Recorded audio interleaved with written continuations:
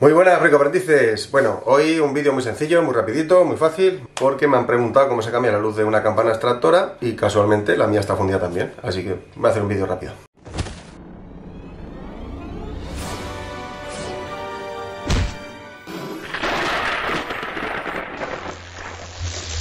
Si le damos al interruptor no funciona, si le doy a la campana sí funciona.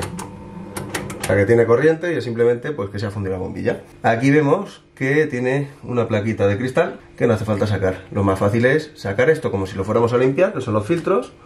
Se sacan así, súper fácil. Le sacamos los tres y tenemos más comodidad. Y ahora vamos a intentar subir la cámara y que lo veáis mejor. ¿Se ve? ¿No se ve?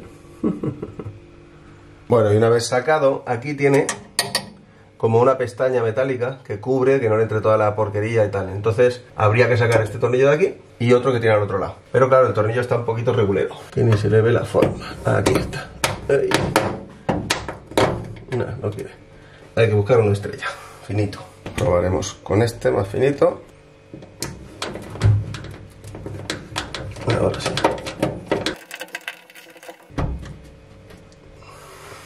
Uno fuera vemos que tenemos otro aquí, que este está que ni se le ve la forma. A ver si rascando un poquito aparece la forma y nos deja meter aquí. Ya está. Me va a caer encima.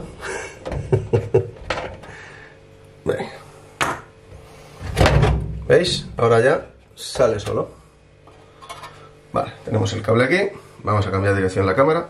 Aquí podemos aprovechar para limpiar un poquito que se mete la roña de este tal es imposible de sacar hasta que no se desmonta, claro. Como vemos, lleva dos bombillitas normales y corrientes. Pues simplemente desenroscamos. Bien, una por aquí. Esta no sé por qué es más puñetera de sacar. Y al final, con un poco de paciencia, lo podemos sacar.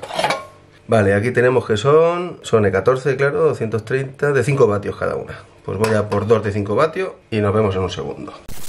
Bueno, ya tengo aquí las nuevas las metemos en su sitio. Ahí, está otra que era más difícil de meter. Giramos hasta que ya no gira más. Ahí debería estar. Vamos a probarlo antes de montar. Perfectamente. Pues ya lo tenemos. Vamos a montar. Esto es tan simple como volver a colocar los tornillitos. Metemos esto en su sitio. Que recordemos que era así Ahí, que pasar las tres pestañitas. Ya lo tenemos preparado.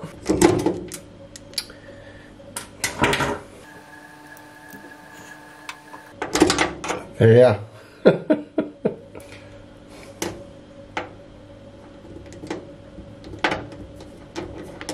Ahora, vísteme despacio que tengo prisa. Aquí ya tenemos uno. Ya no se cae. Y aquí deberíamos tener el otro. no estoy yo ya esto.